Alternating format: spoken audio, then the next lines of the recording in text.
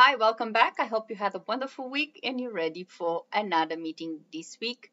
We will be talking about uh, professional development, or as is usually called PD, and um, how to choose the best um, events there, or what type of events there is, and uh, everything PD. So grab your coffee or tea, come in. The meeting is about to start. I now declare the meeting open. So today, as I said, we are talking about PD or professional development. And obviously, uh, it's quite straightforward. I think um, we need to choose the, the, the best options for us and for our business. I think that is um, common sense. And uh, if you are right there, you must be thinking, yeah, right. Everyone knows that. Yeah, we, I know that. But sometimes, uh, and because uh, associations like, for example, NAATI um, count uh, PD, and PD is one of the ways um, your association um, evaluates your uh, commitment through the professional, um, you know, uh, uh, your commitment to, to the profession rather, uh, your um, work, your continue, continuing work and things like that. Sometimes we are a little bit carried away with the PD events that we attend to, and sometimes um, they may not really uh, do us any good. Um, first of all, um, professional development, in my opinion, is something very important. I think it is important for every profession. It's not just for translators or interpreters or any any um, any freelance uh, job, but for any other professions. And as a matter of fact, a lot of companies do know this and they invest uh, money into their employees' professional development. Sometimes there's uh, subsidies that they provide to employees or they pay for um, short courses or they uh, all webinars within the company and things like that, which I think is very important because um, if you have a business and if you enable your employees to grow into the business, you're not only thinking about your employees and their careers, but you mainly thinking about your business and the way those employees will be able to grow your business as well, because they will have the best knowledge, they will know how to do their job the best way possible, and therefore they will get results for you, for your company. For us, and if we just work by ourselves, like it's for example my case, you uh, are the business and you are the employee of your business. You are the owner and the employee. And therefore, everything that is put into the business, obviously, it's put into you. And professional development is a huge part of that. I strongly agree with this. Um, but we need to choose the best uh, things. And professional development, and in my view, does not only relate to your profession directly. For example, let's take translators as an example since we are talking about translation. If you are a translator, of course, if there is a webinar or short course or any uh, other event related to the industry, either about ethics or about a new technique uh, in the industry for example, um, new ways of uh, pricing our services, things like that. Of course, those are very important because it will help you run your business, it will help you do your job better. However, sometimes there is activities, short courses or even longer courses that may not be directly related to translation in our case, but I still consider them professional development, and NAATI certainly does too.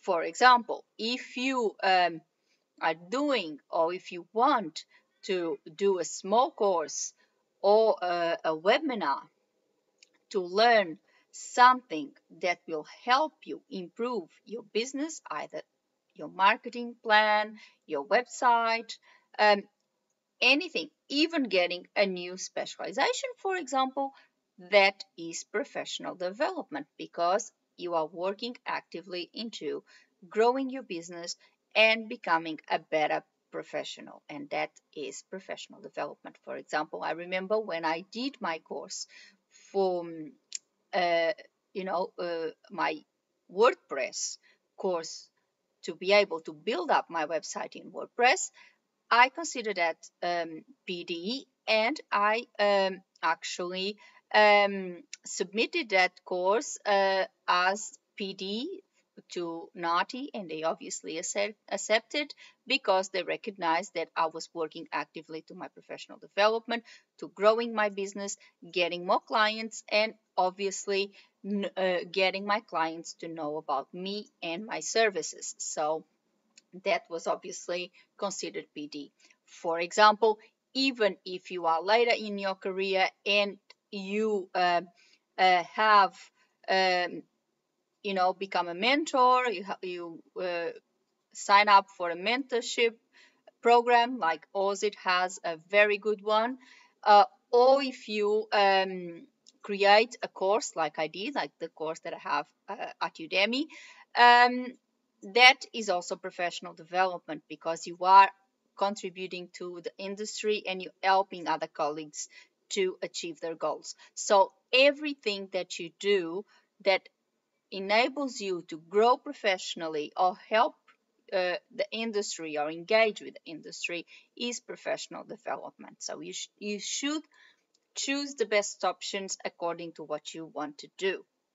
For example, all the events that are in your language pair, in your specialization, for example, that uh, ethics, about ethics, about new regulations sometimes uh, countries change regulations in regarding to let's say uh, certified translation. I know australia is very strict with this um, and uh, the government uh, regularly sends uh, new uh, guidelines for translators in regards to certified translation in australia. I know that when NAATI uh, did all the restructuring and the new certification uh, program came into place, the government has changed their guidelines and the uh, accredited translators are no longer accepted and we, the certified translators with the square stamp,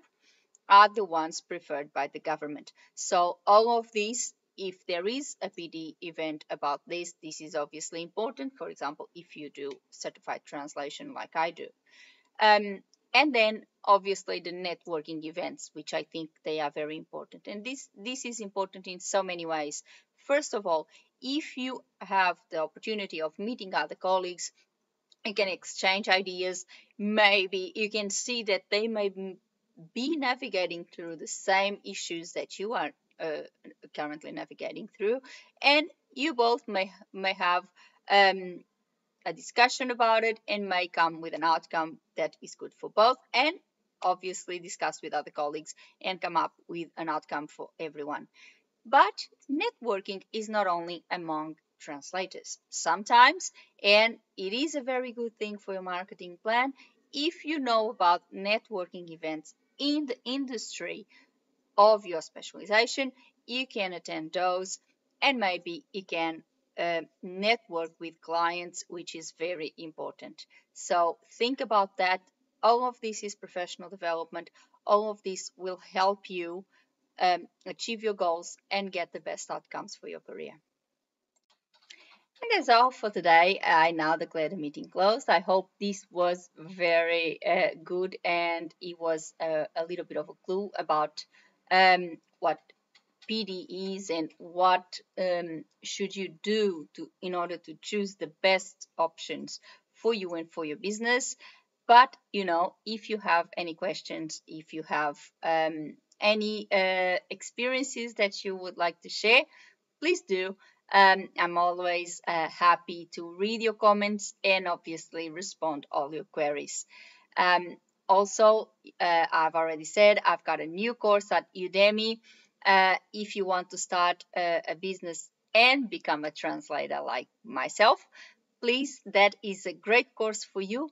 It teaches you all the good things to have a, a good start from choosing um, a good qualification that will enable to have the best start through uh, building your business plan, your marketing plan, building your website, everything, all these aspects of um, building a translation business. So when you start, you already have everything organized for you and you will have the best start possible. So if you are interested, please, I'll leave the link below.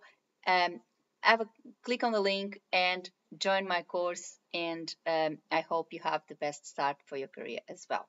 Before I go, I would like to tell you to put a like on the video, you know, the whole story, the algorithm, YouTube, and subscribe the channel with a little click on the bell so you get a notification of a meeting every week. Before I go, I would like to thank you all for watching. See you next week. Thank you very much. Bye.